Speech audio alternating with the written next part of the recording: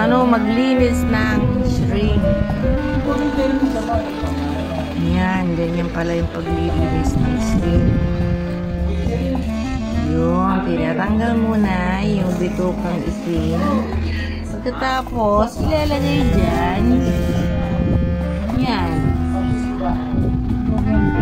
So,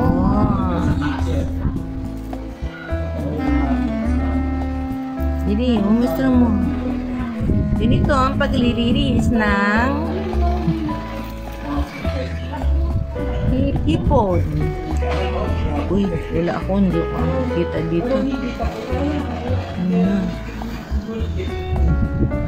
Ganyan.